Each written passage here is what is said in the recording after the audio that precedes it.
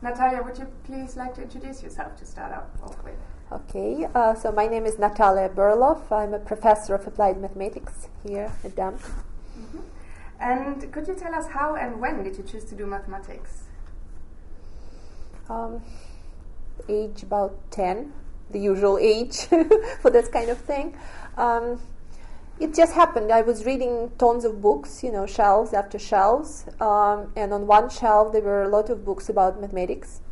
Uh, some were for children, like explaining graph theory, and I think I was suddenly completely taken by by the theory, by how um, how logic works to actually solve kind of unsolvable problems on, graphs. So that was the beginning, and then um, I grew up in Russia, so we had very well developed Olympiad movement in mathematics. So um, I started winning on various levels, and once you get to some kind of country level, then big players like Moscow State and um, Landau School start taking a notice of those people. So that's how I got lured into this wild world.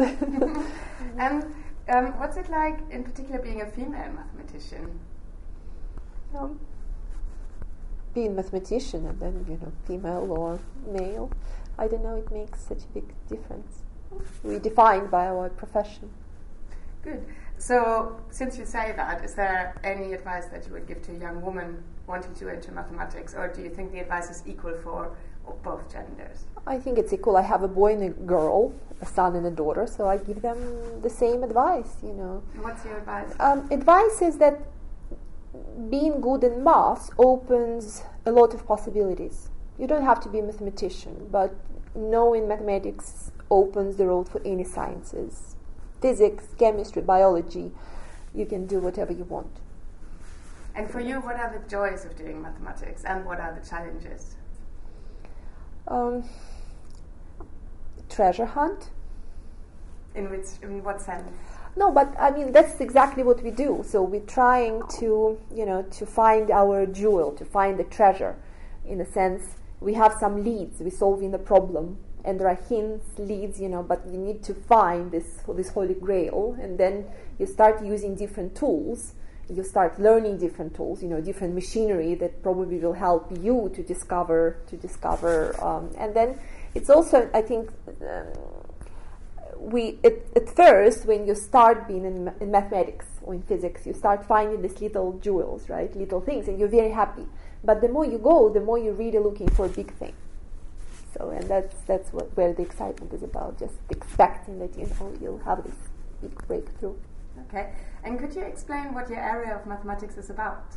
Uh, it's applied mathematics. So i'm writing equations i'm trying to understand the physical system. In my case quantum fluids superfluidity, Bose-Einstein condensation, and try to, for a given physical system, it could be liquid, it could be gas, it could be even solid state. I'm trying to write down the equations that describe the motions, that describe the phenomena observed, and then I'm in close contact with experimentalists trying to see if my theory works and what else, you know, what else they present that, you know, it still doesn't fit in into the model so I can extend it and um, build a new one. Okay.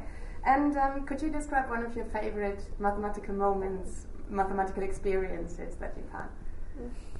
Uh, there were many. Uh, we have the first one again was when I, in this book that I mentioned that I read when I was ten, there was this problem of given a set of points.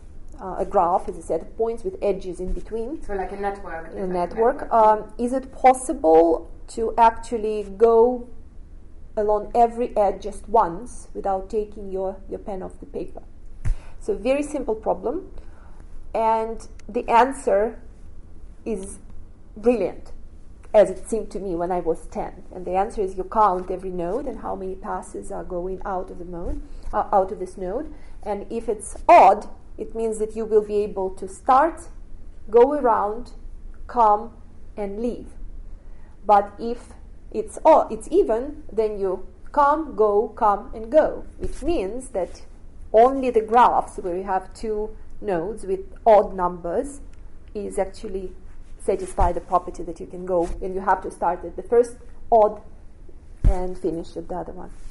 So, So that was- surprisingly simple. That is very simple um, and you know but before you try various graphs and you see that you know sometimes you don't know why it works maybe you, why it doesn't work maybe you just didn't find the right way how to go between the points but you know at the end when you understand and it makes perfect sense right and then you think oh wow now i can solve any problem because i know the, this trick and i think for, for me being 10 this was kind of memorable moment Okay, great. Thank you very much. okay thank you